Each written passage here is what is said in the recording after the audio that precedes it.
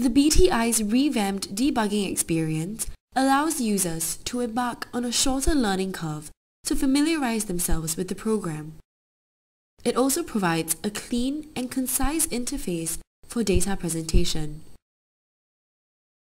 The new BTI Analog GUI encompasses new features such as sorting by columns, mass edit and mass run, as well as the option to export and selectively turn on and off data columns.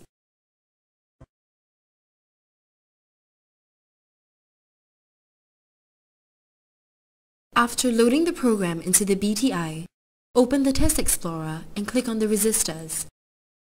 Then, check on the box that highlights all the tests, click on the Unpowered button and run.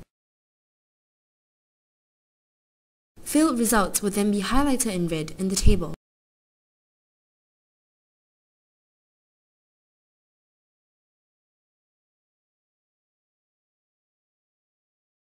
Using the Shift and arrow down key, select the resistors and click on the expected value column as shown on the screen. Change the expected value from 4.7K to 5K and press enter. Users can notice that all the expected values in test selected changes accordingly as well.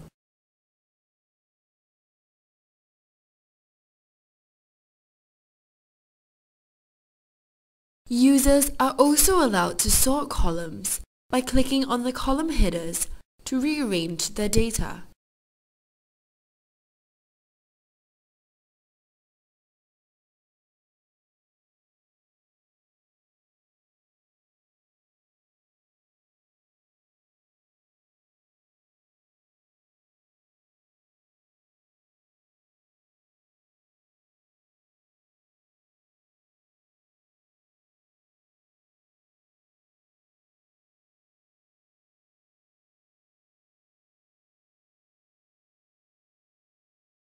Users are able to scroll horizontally to view and change all column parameters.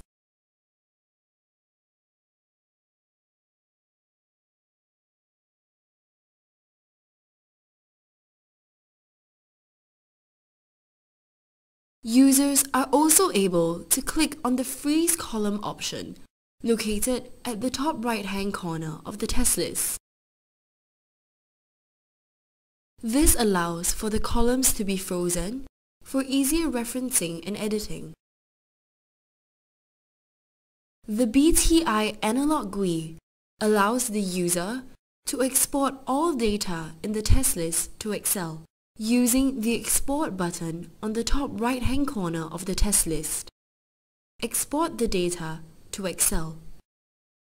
Users can then use this data to review offline.